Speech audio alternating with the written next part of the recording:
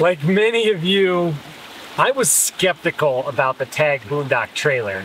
Like crossing a bamboo bridge for the first time type of skeptical. But like the title of this video states, I was wrong. But how wrong was I? Not only will I be sharing my own opinions on this trailer today, I have a special guest today. Brad has taken his Tag Boondock trailer and put over 24,000 miles on this trailer.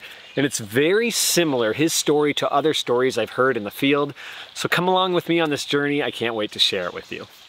My name is Brad Raspet. Having a good time camping on my way to Illinois to visit my sister and visit my son in Washington, D.C. I do a lot of boondock camping and uh, this is my tag trailer I've had for a couple of years.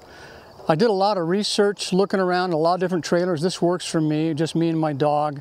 Uh, it's the perfect size and uh, it's a huge step up because prior to this I had been boondock camping with my little Ford Ranger truck and a canopy and cooking on the tailgate, sleeping in the bed. So this is like the Taj Mahal compared to that.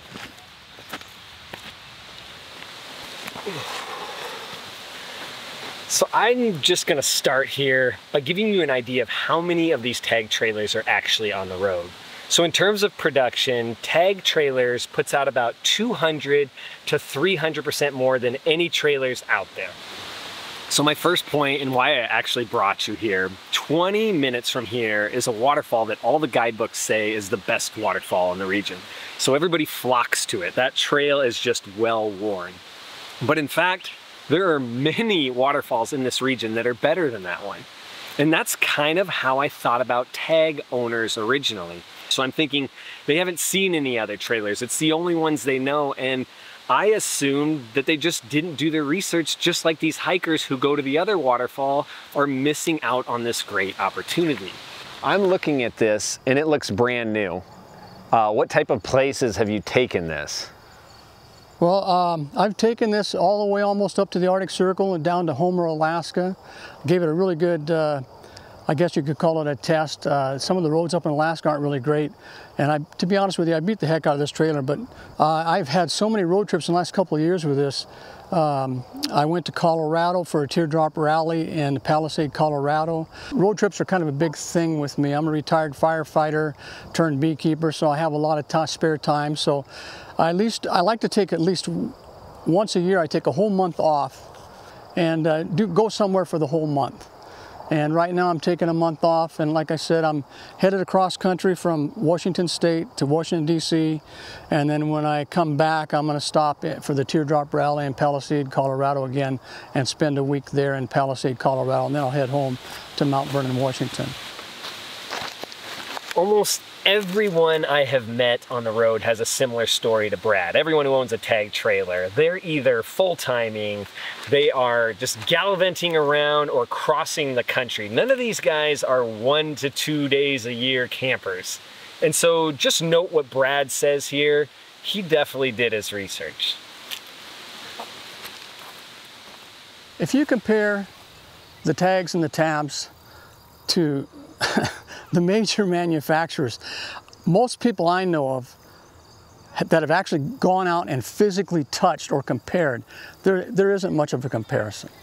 Um, and it, it shows in, in, the quality of the items and, and some of the things. I, um, I didn't give you the background on the year that I spent researching different kinds of trailers. And I, I, can't even remember all the different names. I actually drove up to Canada for one particular brand in British Columbia and went to the factory and looked at the trailers.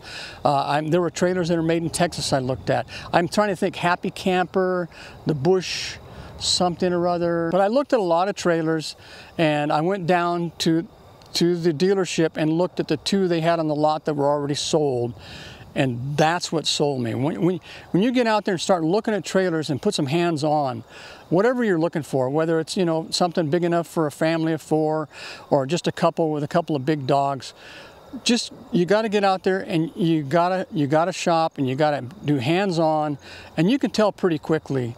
When you start looking just past the service. what's quality built and what's not quality built. And in my mind, uh, the nuCamp trailers are the best in the nation as far as the quality build. My next misconception came from a lack of angry campers in the forum sections and all over online. Where were they? So why was I not hearing angry comments everywhere? With that many trailers on the road, I'm bound to hear a lot. And so my only assumption was these people are just not putting miles on their trailer. I mean, you look at a trail like this. Any season I come out here, it's always looking different because the weather is just doing so much damage to it. And so my assumption was these other brands are getting their trailers out there and you're hearing the squeaky wheel because they're actually putting those road miles on it. And these tag owners must not be. How many miles do you think you've put on her? Oh, look at this guy. Just a second. Um, I keep track of my mileage so I know when to repack the wheel bearings. By the time I get home, I'll have 23,298 miles on it. So almost 24,000 miles in the last two years. My next misconception was just how much people were pushing these trailers. I assumed just like that popular waterfall hike over there that these folks were just sticking to that well-trodden path. Um, so most people go to Alaska and they're going up the Alaska highway. They might go down the Kenai and then they go back. But I think you went a bit further, right? This was kind of like uh, one of those bucket list things. I'd never been in the interior of Alaska. I'd never seen the northern lights and went up almost to the Arctic Circle. The roads, uh, they have some, some difficulty, I think, because of the weather conditions of keeping the roads um, what, like what we might be used to down in the lower 48 because I thought the main highways would, would be uh, a little bit more like our main highways down here in the United States. They're not. So I did get to see the northern lights. I did travel along every highway in the state with the exception of one uh, and camped and boondock camped. This, this trailer was fantastic. Uh, it's, uh, it's, I don't, I got a feeling this thing's gonna go for another 20 years and uh, I'm gonna use the heck out of it camping and having a good time with it. I get a lot of emails from you guys and I get emails about every trailer and negative emails about, you know, what happened with the build and what happened after I put this many miles. And this is from every brand. Some brands obviously more than others. But with the tag with that many on the road, I'm not getting those emails. And maybe I will after making this video. But what really surprised me, we put out a tag video that got 1 million views. You know how difficult Oh, look at that. Pretty cool. And scary. He definitely looks like he's got some sting. He's going right for my tripod. Go back and look at that video. I don't think there is one owner complaint about the build quality. All the complaints on there are just about how it was designed. You know, does it need a TV? Does it need a microwave? This layout was weird. One million views, or maybe there's two now. I don't know how many million on it. And nobody is talking about poor build quality. So listen here what Brad has to say about the maintenance on his trailer. So you were talking about, you know, Alaska being prepared, uh, being self-sufficient. With this teardrop and the way it was built, what type of repairs have you had to do with it over these two years? What's it involved? You gotta give me a chance to think here. Um, um, as far as repairs or anything I've had to do for the trailer, it's virtually zero. Um, I mean, I've repacked the bearings twice now because of the mileage that, that's on the trailer. Um, I noticed that uh, there, this fender was splitting a little bit and uh, I drilled a little hole to stop the split that, that, was probably the first couple of months I had it, um, and that just that that seems to be a problem when they're trying to uh, make this this thin diamond plate aluminum type fender. But that's the only thing that I can think of that I've had to do anything with the trailer. It's just. And how about, so Brad, I'm thinking just basic maintenance. You said packing bearings. Have you ever had to reseal, recaulk the trailer at all? No. Okay. I wish I could think of other things. You're looking for stuff. No, that's it. You, you, no, you're looking for stuff. This, I, I haven't, I can't think of a single thing.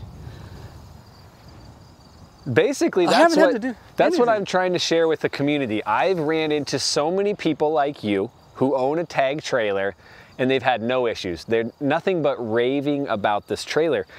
And many people like me have reservations about a trailer like this because we think it's coming from the mass RV industry, we think it's overproduced. I also thought these trailers were either associated with or built by the large RV industry. You know that industry I love to say just so many good things about? Well, these are not built in Elkhart, Indiana, the center of large RV world. These are built in Sugarcreek, Ohio. Now, I don't know if this means they're truly built by the Amish, but I do know this is a section or a portion of North America known for its top building quality and craftsmanship. It's an Amish region that's known for great furniture and cabinetry. So I think that says a lot about this bill. Another misunderstanding I had about tag trailers is that they really weren't equipped to do off-grid, non-electrical style camping. But what you'll see here from Brad and his experiences, he had to do very minor upgrades to make it work in all situations. What I'm seeing here, you went over 20,000 miles and the only thing you've added to this is an ARB awning and a couple buckets? Essentially, yes and no. There's so many little teeny things. Um, I already mentioned, okay, fire extinguisher up front. I didn't want to put my generator here because I was worried about tongue weight. Um, inside here, I put a Y on here. So if I want to, I have a little campfire, you know, the, the propane campfires. I can tap into this and set up my little, my propane campfire. I have a lithium battery in here now uh, so that I can essentially run it down to zero and not worry about it. Um, I mentioned this used to have a, Yeti cooler. I knew I was going to be going up in Alaska and I was going to have to um, you know, not be able to get ice. Brad just walked me around his trailer, showed me little updates he's done, things to make it more comfortable on the road, but in reality, nothing major. So out of the factory, this got you over 20,000 miles comfortably. Yeah, this has been a, a really good investment. Um, it, someday, um, if I decide to buy another trailer, I'm, i might go a little bit bigger depending on uh, my personal situation. Um, if, if there's somebody else, I would probably maybe go a little bit, uh, like maybe go to the tab. There's a couple different models. If you guys but, want Brad's phone number, I'll post it right here on the screen. yeah. Eligible bachelor. so I'm gonna come off the river a bit just so you guys can really hear this. This is a point I wanna drive home. If there's anything you take away from this video today, this is the one I want you to get. And that is, when I looked at the tag trailer, it was beautiful on the outside, but I thought this was just a facade. I thought the inside was a nightmare. And why I thought this was because of a product they use called Azdel. Now before Azdel, traditional RV manufacturing put either wood or Luan inside the walls of their trailer, both materials that are susceptible to water damage. But then Azdel came out and they're touting it as the newest, greatest thing in this industry, that it's gonna make it so your trailer lasts forever. And I'm a kind of glass half full guy and I can be a bit arrogant and you know, that Dunning-Kruger effect where I think I know it all. I thought their use of Azdel was an admission of guilt. Essentially, when I read between the lines, here's what I heard. We make a really poor trailer so much so, in fact, that water is going to get into the walls. But don't worry, we have Azdel, this composite material that can't rot or get mildew. But you know what? That couldn't be further from the truth. And let me tell you why. I've been blessed with the opportunity to go all over the country, seeing different manufacturers and their trailers, learning about different materials, and I can almost predict with somewhat certainty the half-life of any trailer based on the materials used to build it. And what I've come to learn is if you're using traditional construction, and I mean traditional in the sense of if your trailer has seams, which 90% of them on the road do, whether it be glued or screwed or some other form of connecting those seams, after about five years, those seams will start to come apart if not maintained.